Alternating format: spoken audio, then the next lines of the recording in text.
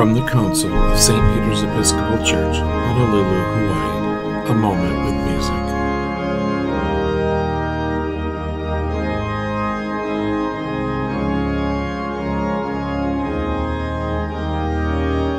And happy Aloha Friday, everybody. Today we come to the part of the Creed where it says the resurrection of the body. Now, think about this week. We've been through, I believe, in the Holy Spirit, the Holy Catholic Church, the communion of saints, the forgiveness of sins, and after we have completed all that, the resurrection of the body.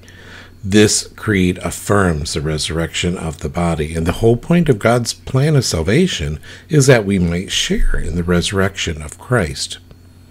Paul, in the first letter to Corinthians, states If there is no resurrection of the dead, then neither has Christ been raised. And if Christ has not been raised, then empty is our preaching, empty too your faith. For if the dead are not raised, neither has Christ been raised.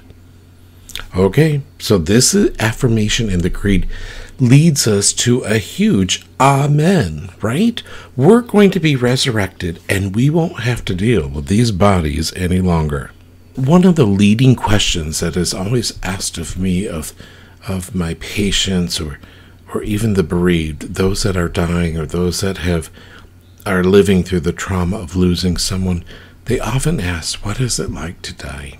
I always give the analogy of, you know, you have these this big heavy coat that you have on in the winter, right? And it keeps you nice and warm and it's huge. But nothing is better when the spring comes around and you can take that coat off and you feel free. Today is a day to celebrate, to rejoice.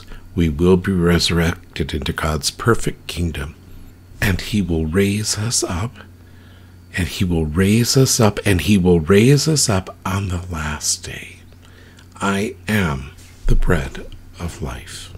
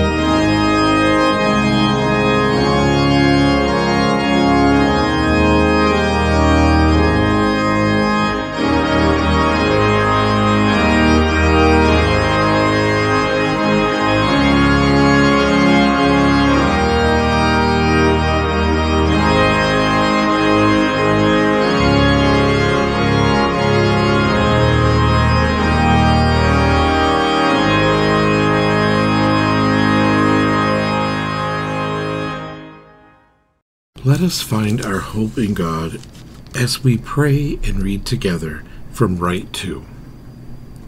I am resurrection, and I am life, says the Lord. Whoever has faith in me shall have life, even though he die. And everyone who has life has committed himself to me in faith shall not die forever.